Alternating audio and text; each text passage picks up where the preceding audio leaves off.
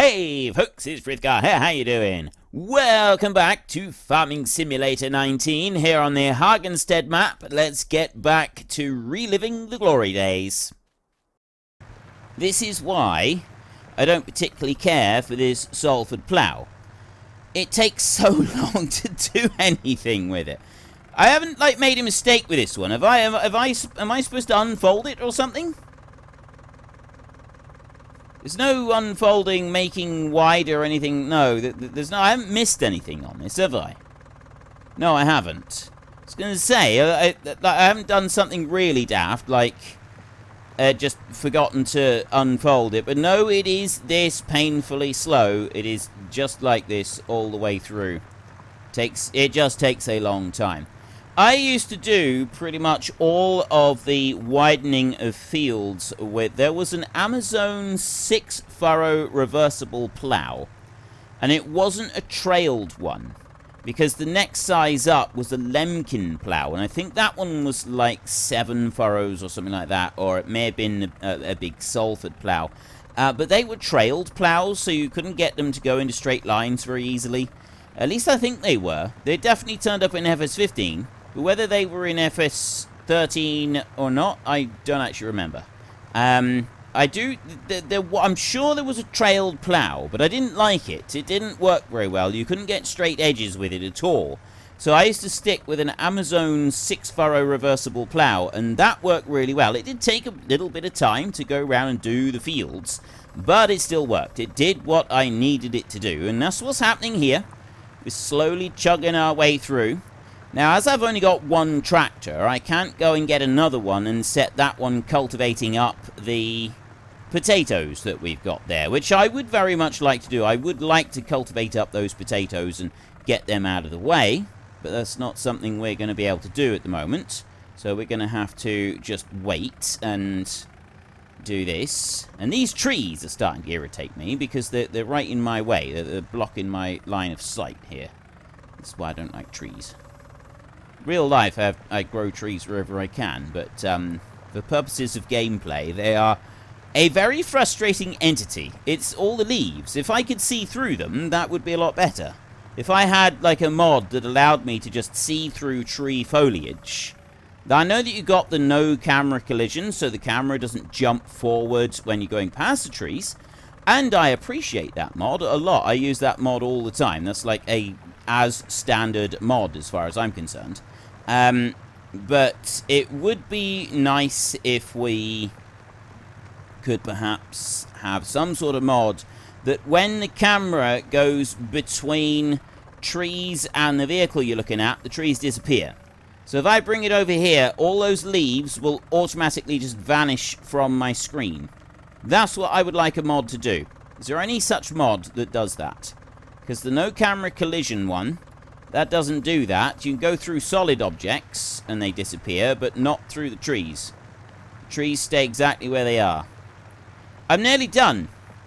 Right, we, we, we've we've done the grass, and the plough is quite narrow, and I am overlapping quite a bit because I'm not using the GPS, so it's just reliant on me trying to do it by eye, and I'm never quite sure whether I'm getting all of it. I tend to play like, I, I err on the side of caution when I'm creating a new field because I want to make sure that I get every single little spot. And because you've only got to do it once, like, it's worth just taking a little bit of time, even if I am overlapping by too much and I'm being too cautious.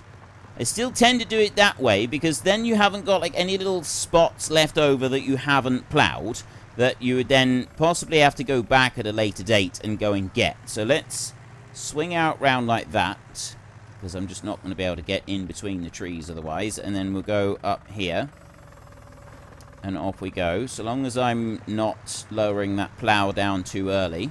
See, right there, like, the tra it feels like the tractor should be driving in the furrow, so it's leaning over to one side like that as I go through. Now, obviously, FS13, we didn't have any of this um, terrain sort of options like this, the, the bumpy terrain, anything like that, the, the tractor just sat on top of the, the picture, and it was essentially a picture of ploughed land rather than ploughed land that made your tractor sort of bounce up and down, anything like that. Um, There was a few spots in some fields when you widened them that the machine that you like if you were drilling or combining it would come just about completely out of the ground across the entire thing but it would still harvest it would still plant. And it does it the other way round now. If you come out of the ground too much with anything it doesn't work on that particular spot. You know the combine header will ground out or it will just miss the crop altogether and yes, it's a bit more realistic, but I kind of miss the good old days where you didn't have to worry about that. So long as the combine was somewhere near the crop, it would harvest it. That's all it needed to do. It just needed to sort of be in the rough vicinity of the crop, and it would just carry on and do it. This is getting a little bit tedious, isn't it? I was I was sort of thinking it was going to be a little bit more exciting than this, just to start off with. We're um, we're a good episode in by this point, and all I've done so far is plough up this tiny, tiny little patch. This is why I don't like this Salford plough. I, mean, I suppose it's alright if I was to just leave it ploughing in a field, but again, with FS13, I didn't bother with ploughing. I didn't leave anything ploughing. If This was the only time I used a plough, and other than that, I would just cultivate or direct seed. Um, I would work towards a direct seeder and then I do no ploughing at all. There'd be no ploughing done. I didn't bother with any kind of ploughing for realism or anything like that. I just didn't plough. Um, unless... Could you... Uh, no, actually you could cultivate without having to plough, couldn't you? I think you you could do that in the game. You could cultivate without having to plough, and so that's what I would do. If I wanted to do root crops, or if I was going to do corn, um, I would do that with just the cultivator. I'd do, use the cultivator to do it. And to start with, our seed drill has got no option to go and um, do direct drilling. We've got to we've got to cultivate everything up first anyway.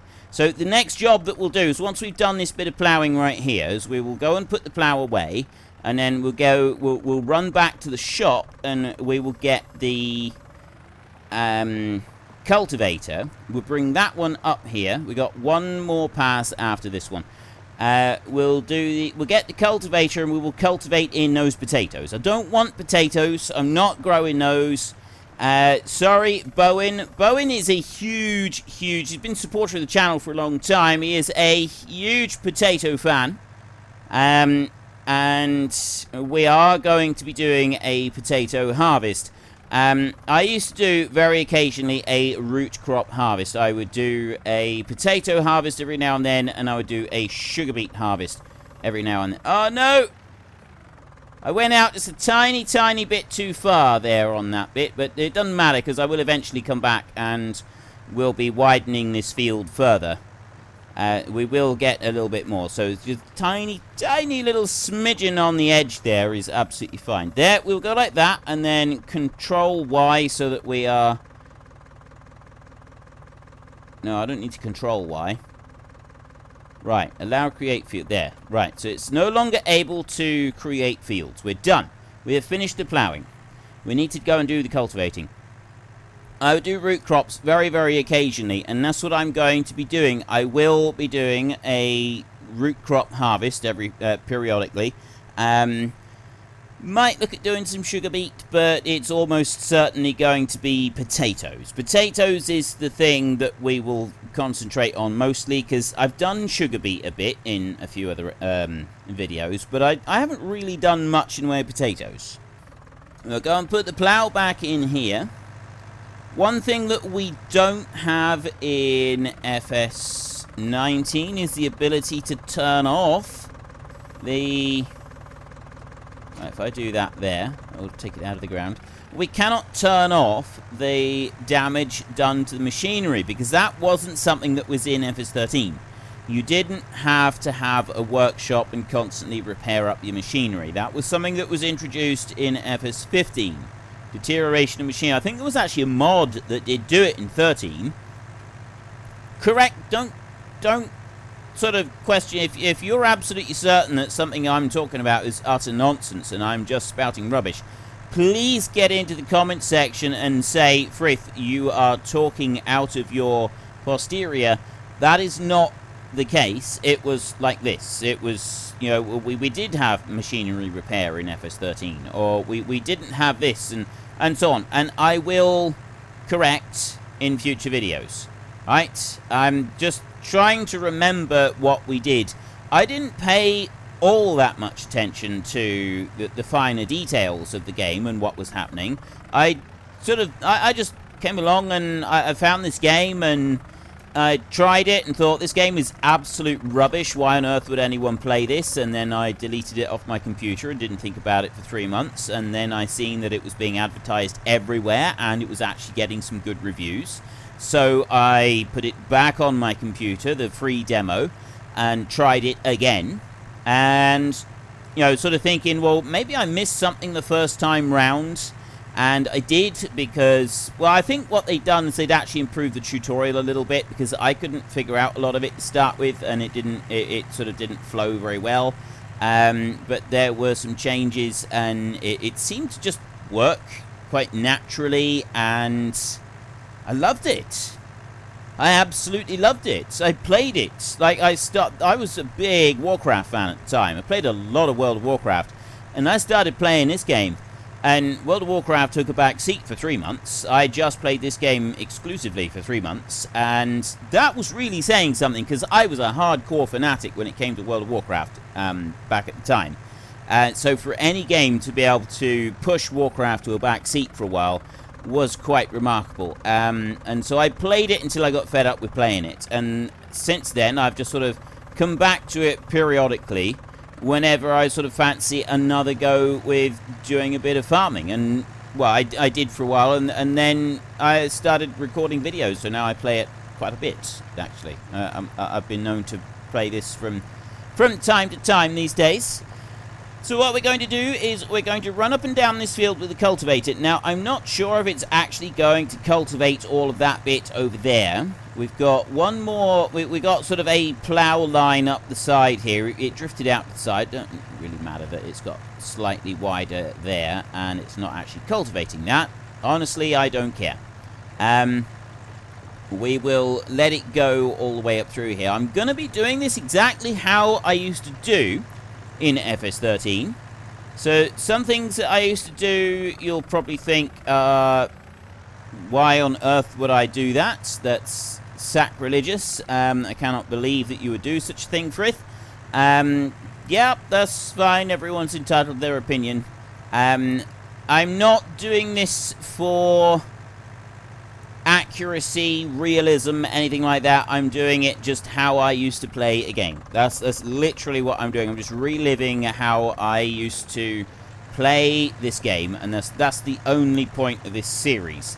I would expand out fairly quickly and buy up as much land as I could. And every time I bought a new field, I would expand the field out to as right to the absolute limit that I could reach on the edges of the field. I would push to get as much of that new land as I possibly could. Now remember you couldn't delete trees and things like that. So these trees were there to stay. They were right in the way. And they were the bane of my existence. I hated the fact that there were trees there. They would they'd stick them on the corners, and then you couldn't really expand the fields very much. Some of them you could get away with expanding the fields, uh, but then you might have some other problems, like uh, the, the two long fields just up over the cliff up there. Um, these two here. There was a bit just there. And it there was a bit of a hill on there. Let's go and have a look in the landscaping. And see if we can see that. Oh, it's uh, this way. I'm going to go up here, and it's this long field here. So our tractor is working down here. We're working on here. And you buy up these fields here. So this one here, I would leave that one. And I would actually remove this track here. And that one I would actually plow up, and that would be part of the field. And then here I would go right to the edges of the track. No further than that, but to the edges of the track. And then this side, this would all be... Um, the field would be deleted, and it would just be then um, meadow grass. This side over here, you could push it over this way as much as you could, but if you went too close to this side, some machinery wouldn't work very well going against this bit, so you had to keep it back. I think it was the potato harvesters that struggled the most with it. Um, so I ended up having to like keep that back from this bit of a hill over here. And I always wished for something that would allow me to be able to alter it just a little bit. So I will be using the landscaping mod to try to adjust that just a tiny bit. Um, just so that I can actually fit the field of my dreams in there. And we'll be removing these trees. We'll go out over to there. But this road up through here, I use this one all the time. I used to use that because I would come up here and in round this side and then up through to... Or I th think I did. Didn't I? Pretty sure I did. Yes, I did, because... And then I had that one going up. Maybe I... I... No, I did keep that one. That's one that I kept. I may have actually gotten rid of that one and ploughed over it, so I didn't bother. Uh, you know, I don't remember. I don't actually remember. But looking at it here, this fit, we don't need that track coming around there. That is surplus to requirement. We could just have the track running in through here instead. That would be fine. Um, I might be using the AI vehicle extension in this series so that I can have some uneven edges in fields, but I'm not quite sure about that because I'm reliving my glory days, but I also would like to be able to just do a couple of the tweaks that we're now able to do. Things like that tree there and that one, it made like expanding this field out exceptionally difficult because you had these trees on the corners, which, you know, did make things rather tricky for you. This one over here, I would end up turning that into a bigger field and go across that track right there, and it would just sort of, the square on this side would be moved out as much as I could over to here, and then that one would be moved out and joined in together, so you, would sort of have, um, a square with a dog leg kind of thing on it. And I had those, like, you had quite a few of these odd-shaped bits here and there in the fields, and you just learned which way to, when you were building up your fields, and when you were starting to work your fields, you just learned pretty quickly which way round to do those to start with. Your cultivating is coming along well. Now, something that we did have in FS uh, in FS13 was we had three tractors. So if I was doing a job like this, I would get another tractor in, one of the small tractors, and I would be doing some work with that one as well. And I think that we do actually need that. So I'm going to go back over here. We won't worry about the combine for a minute, but we could do with another machine. I think we could do with another machine. So we actually we want to go into the shop. Um, yeah, that's 59,000 euros for that tractor. I haven't got a cheap tractor. Right, unfortunately, we don't have any cheap tractors available. We got the Case 7200, that's 98,000 euros. And if you look through these other ones, 100,000, these are the medium-sized ones. So there's nothing cheap. Like the small tractors you used to get were small, and these are the giant tractors. So we ain't getting anything from those. Um, and this this is like where it gets a little bit tricky. I've uh, I've got miscellaneous. We, we've got a few cars. I mean, we could try one of these because they do have a hitch, so they can drag some things around. But they're not gonna. We're not gonna be able to do what we want to do with that. We did have a loan. There, there was at least you had a loan of at least a hundred thousand euros, but we don't need that, do we? No, we don't. What we need is we need to be able to sell some of the grain we've got. Now, what I'd like to do, the cheapest tractor that I've got available is another Fiat. I could go for a Valtra A series there. It's only 100 horsepower. This one's 150. He's only got 25k as his top speed, whereas that one is 40k. It would be a lot better. That's 115. And he's 50. Good gravy. That one's 50k. 115 horsepower. Have we got a bigger option for the engine? Right, that's 93,000. We need almost 100,000 for this one, and that's a 150 horsepower tractor. It's got front weights, uh, uh, like front hydraulics that it can use, and it's got 50k as it's get you know it's got it's got a 50k box on it, which is so much faster than our little um, beastie that we've got at the moment. Because if we have a look at our actual money that we could go and get right now um, we're on standard economy, so we got nothing being offered at really good prices. I suppose 1700 is not too bad. Central grain elevator. I got 15,000 litres of beans right there that we could go and sell. And we got 887 there for the restaurant. Uh, 1500 on sunflowers. 750 on wheat. I don't know what good prices are. We got normal economy. We're using normal economy at the moment rather than easy. Um, maybe we should use easy economy. Pretty sure I used to have it on easy economy. We're going to save the game there on easy economy. And let's have a look at the prices now. Ha ha, that's more like it. That's what, uh, that's, that's more like I remember. Because I don't like I don't want to be dragging this out too long. I want to be able to go and buy new stuff. We'll keep this on the easy economy setting. I think that's that's a much better option for us. And if if so, go into here and no, it was in the next one, wasn't it? It was in here. Easy economy affects buying and selling, and the revenue of contracts is based on this factor as well. Now, we didn't really have contracts other than going and doing a little bit of mowing, and you used to have to buy the mowers yourself, so we won't be doing contracts, I don't think.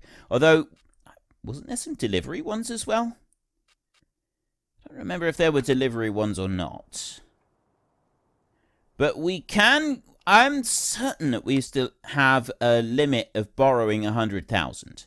So I'm going to say that we can borrow 100,000 if it's not 100,000, if it's got to be more than that or less than that, then we will alter. But I'm going to go for 80 grand at the moment. So we've got 105,000 euros. Right, oh, actually, no, I'm going to want more than that. There, 125,000 because the GPS mod is one that I want to use. So we'll go here with the Fendt. And we will go with the bigger engine on this one. So it's 93,000. And then the GPS is another 15,000 on top of that but we'll want that for making our fields bigger. So it's quite an important one to go and get. So we're going to buy that right there, 150 horsepower tractor, which is the same as the one we're using, incidentally. Um, but now we've got more tractor. There. Right. That's a good start. That is a good start. We've gone and made our first decent purchase. We've got our little trailer over here. This one, I don't remember how many litres of literage this one takes. How much do you take? 10,750. I think that's alright for a minute. We'll stick with this trailer. We won't worry about going for a bigger trailer. Now, of course, the other thing is, do I want to go and start selling some stuff already? Or do I want to immediately get... I think we want to get started with the planting first, and then we will worry about the selling of things afterwards. So I'm going to leave the trailer here. And I'm going to hitch on the Amazone seed drill.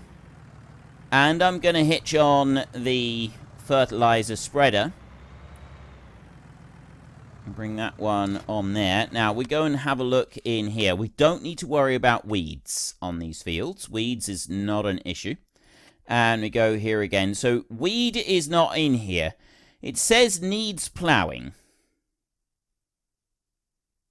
Sure why it's got needs ploughing. I've removed the requirement for needs ploughing.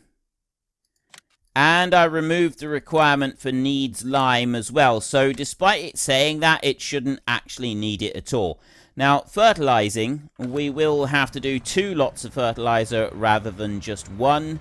Um, fertilizer is now different. It used to be in the game when you were doing fertilizer. I think there was only one round of fertilizer that was needed. It may have been two, but you could go and put them on one after the other. You could put a round of fertilizer on. You could immediately go and put a second round of fertilizer on if that's what you wanted to do. And there was no penalties for it, right? You could just put fertilizer on, job done. And nice, quick, easy, and completely painless. So you didn't have to concern yourself with that in the slightest. But now you're not able to do that. We'll lower that one down there, and we'll leave that fertilizer spinner there. And then this Amazone seed drill, we're going to lower that one down. We're going to take that one off. Oops. We'll spin round. So if if we are limited to 100,000 euros on loan and that is it, then we have gone and made all of the purchases that we can just about for now with our 100,000. I did say that I was going to leave it, but um, already I've gotten bored with waiting for the other one, so we're going to speed it up. And just be prepared for a lot of that, because um, I'm not about to just sit here staring at it for ages, twiddling my thumbs, doing nothing. That is one thing that I used to do. It was very important to me when I played this game that I didn't get really bored. So I, I didn't used to do anything that I found really dull. Um, I would speed things up, I would get mods with increased capacity, things like that. Didn't often increase harvesting speeds, but I did increase capacities by a long way. So combines would be running around with 100,000 litre tanks, trailers and overloaders, like I'd have an overloader that would go along with a 300,000 litre capacity, excuse me, and I would have a um, road train that would be going along with a 2 million litre capacity that would take all of the grain that I was pulling off the combines. And I would keep me through, I think I had three combines. I'd keep them running continuously with my massive, great big volume trailers that I used to use running up and down. And I didn't think that was playing unrealistically because what I was essentially doing was you are going to keep going there, aren't you? What I was essentially doing was I wasn't... I didn't feel that I was cheating in any way. I was still simulating the combine working the field.